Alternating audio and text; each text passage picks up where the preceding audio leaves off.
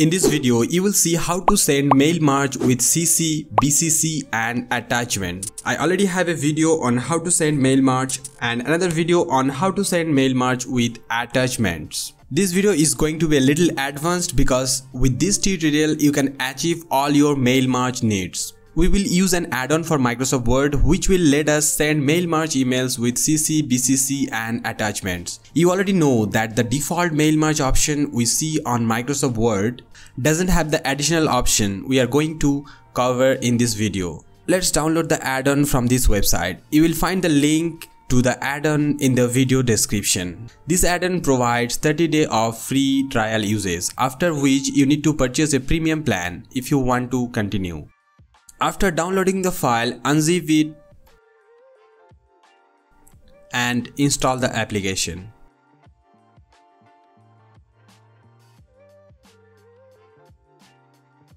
If you have any open Microsoft document like Microsoft Word or something, you need to close it down because it is going to be installed with the Microsoft Word on the computer.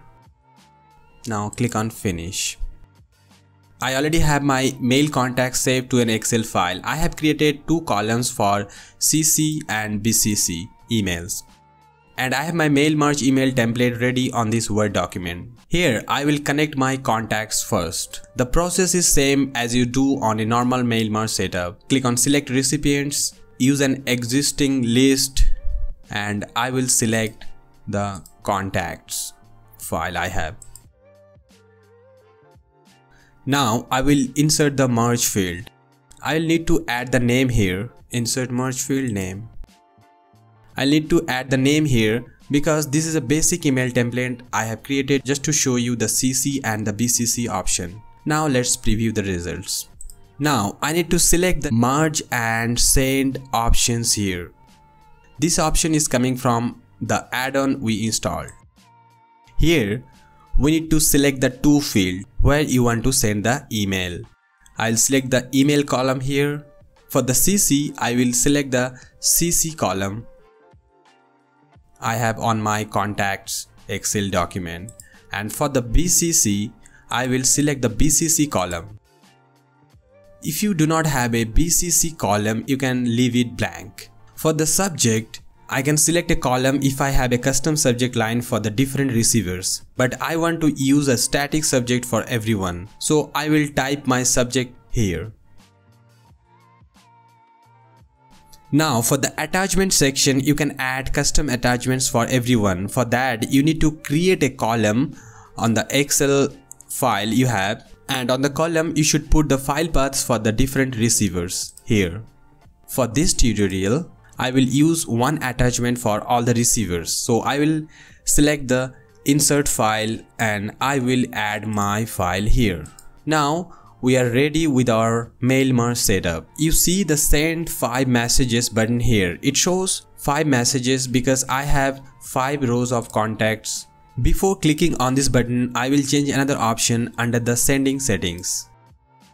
Under the delivery option, you will see the sending starts is set to 3 minutes.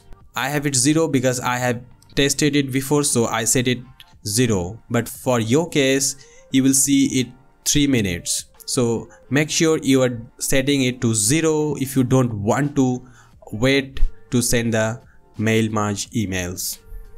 Let's send the email. When you click on this button, you will see a confirmation pop up if you want to send the emails. Click on the yes button to proceed. Now it will open Outlook on your computer. Select the sending email account. This is important if you have multiple email accounts added. I have only one email so I will select it. You see the stats here, how many emails it is going to send. Now open your Outlook application to see the emails. Select the Outbox folder.